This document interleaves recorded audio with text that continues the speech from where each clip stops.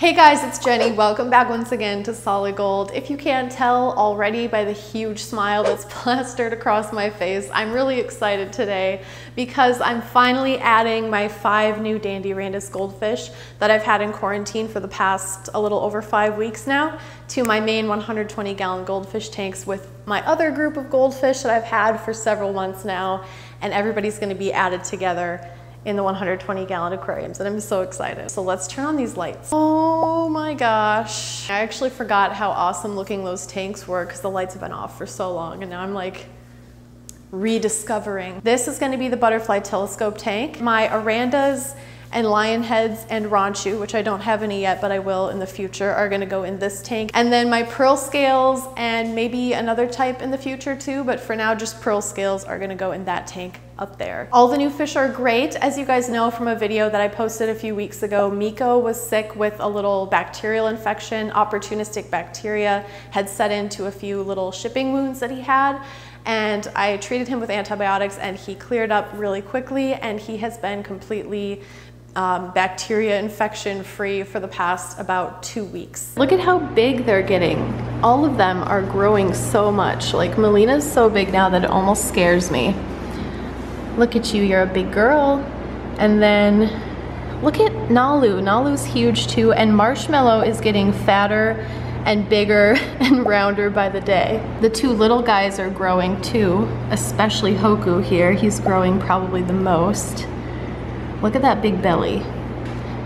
And then Denzel's growing too. Look at how much they beg. This is like them 100% of the time. Just like always, always in begging mode. There is no other mode really. Begging and eating. Those are the two modes. That's it. you guys are the cutest. Oh my, Denzel, everybody loves you. Because of your puppy dog face. Everybody loves you, you know that?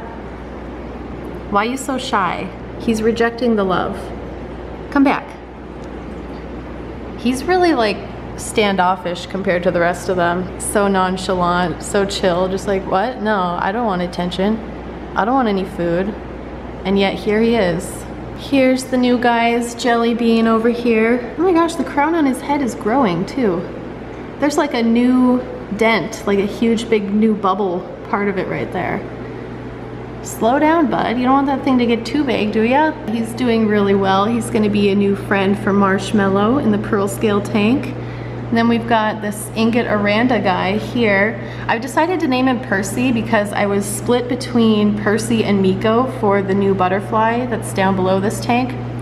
And you guys helped me choose the name Miko for him, but there were so many of you that liked the name Percy too. So that's what this guy's name is gonna be. And then Toast, hi Toast. She's so cute. And then we've got Kai up there. What are you doing? Are you waiting for food? He's waiting for food. But he's gonna be moved in with the butterfly telescopes today. And then so is Miko down here. Miko, you're in the dark. There, that's better. Hey Miko, are you ready for moving day? All right, let's get this thing started.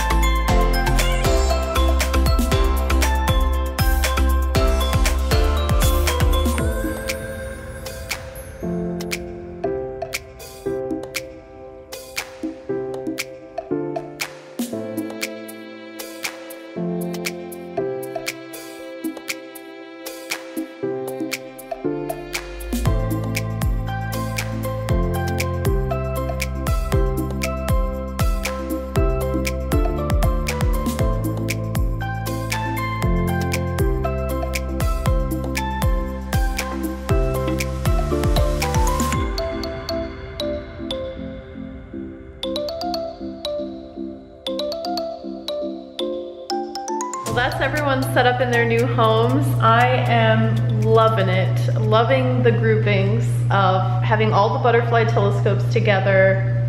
It just makes my heart happy. Denzel is kind of staying off to himself. Denzel's a shy little guy. It takes him a while to get used to new friends. So I think we gotta feed them because for goldfish, there's no better icebreaker than food.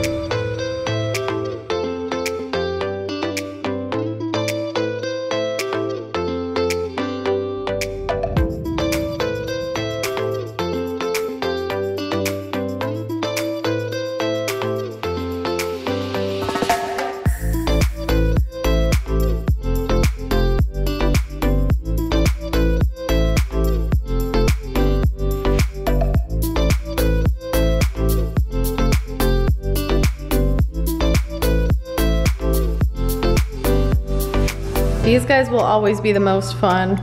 Now that I have some other varieties of goldfish too, you guys will really be able to see the differences between the different varieties. Like butterfly telescopes, for example, are usually some of the most tame and friendly. And they're just little hams. All right, guys, I won't keep you waiting.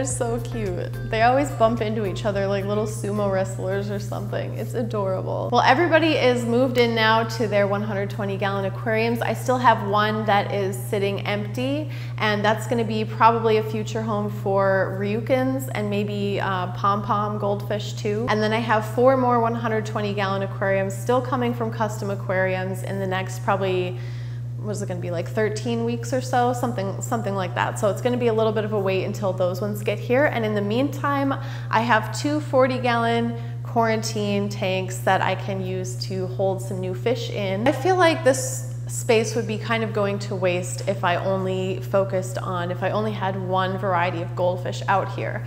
So my vision is that I'm going to have at least one from almost every variety of goldfish out there represented here in the room. So it'll really be a good representation of goldfish as a whole and really help people realize that goldfish are so much more than just those 10 cent, or I don't even know how much they sell them for, to be honest, but those super cheap feeder goldfish at the pet store. There's so much more to goldfish than that, and I really hope that's what people get out of my videos. So let me know if it's working in the comments down below.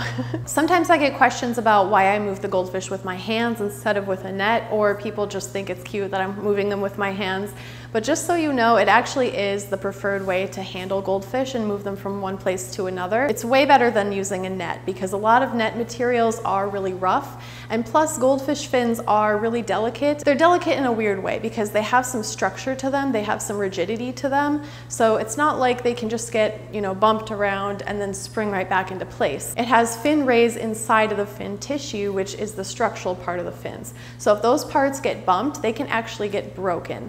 So you can not be as gentle as you need to be with the big fancy types of fish, especially butterfly telescopes with the big rigid tails because if you, if you bump them the wrong way in the net, you can break their fin and that'll never heal. But if you're picking them up and holding them with your hands, you can actually feel where the rigidity in the fins is and you can be more gentle around those areas of the fins. So that's always, always my preferred way of handling my fish if I need to move them from one place to another, especially with the larger, more fancy fin types of goldfish. Obviously, you wouldn't want to hold your goldfish in your bare hands for an extended amount of time. That wouldn't be very good for them. Some people even choose to use gloves when handling their goldfish that choice is completely up to you. I'm just telling you from my experience and from a lot of other goldfish breeders and keepers, a lot of us handle our goldfish with bare hands with no problems. But if you're a little bit worried about it, you can always choose to use gloves. I have a very good friend who's also a goldfish keeper and breeder that always uses gloves when she's handling her fish.